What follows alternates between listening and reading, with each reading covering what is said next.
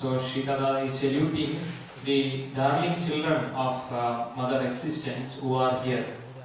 This soil is the foundation or core of our being.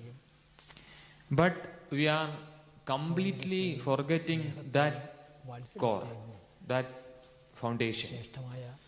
And uh, in all aspect of our life, we are just distracted from that truth, fundamental truth. പ്രപഞ്ചത്തിലുള്ള So, as said yesterday, it is the cause of misery. ബ്രഹ്മാണ്ഡമായ പ്രപഞ്ചത്തിൽ And uh, the other aspect, to understand the core, need of the core, aspiration of the core, fulfillment of the core.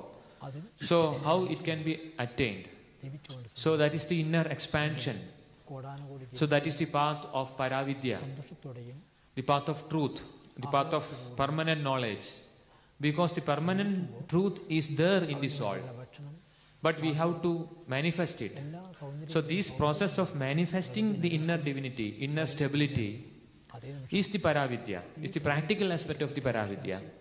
So that has to be practiced along with all knowledge that we acquire from the society and from the system of, of knowledge, of the ordinary knowledge. So that is the fundamental aspect of right living, combination, collaboration of both inner expansion and the knowledge of the exterior world.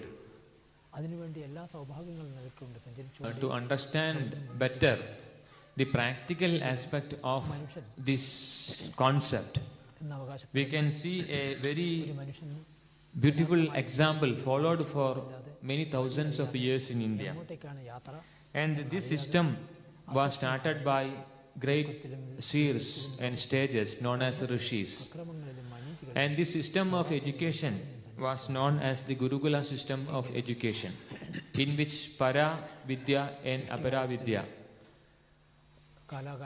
was collaborated together. And um, so we understand from the sutra that the first dharma is to acknowledge the burning aspiration of, in the depth of our soul and live accordingly. It is not just acknowledging it but also to live accordingly. So life has to be developed, has to be progressed with, in this line leaf accordingly is also important. Hence, we can say in this system of education, which is known as the Gurukula education system, when a child is ready for education, will be admitted to this system of education under the direct guidance of the Rishi. And Rishi is a person who attained perfect knowledge, having the supramental knowledge as well as the knowledge of the contemporary society in all its aspect. So this system is guided and uh, supervised, presided by such grand seers. So when a child is admitted to this system of education, the first thing to be done for the child it is a great samskara, a great process. And this great process or samskara in Sanskrit is known as Upanayana samskara. So Upanayana means to take near. To take near to what? To the truth. So the soul of the child is taken near to the truth, to the God. So that the soul will directly have the influence or the light uh, and the energy of the truth. So that the soul can manifest its inner divinity having the contact of a superior, highest energy and light.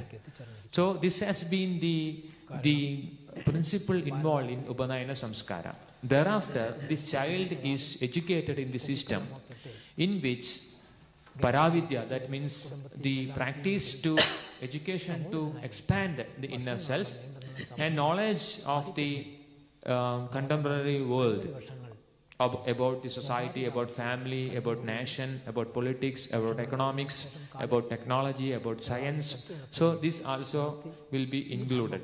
So such a system was uh, very uh, successfully conducted for many thousands of years in India. Uh, and such a system, the Gurukula system of education, could not be brought down to the hands of the common people.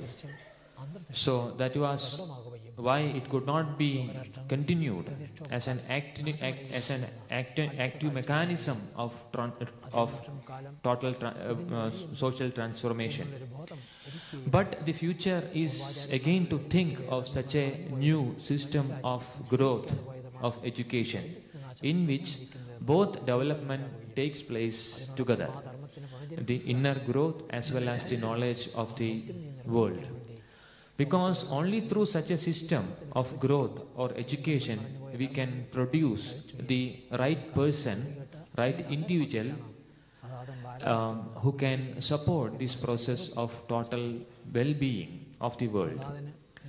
And uh, of course, this is the time that we should all think in this line to um, develop such systems of growth for the younger generation so that the future world will be benefited by that great process.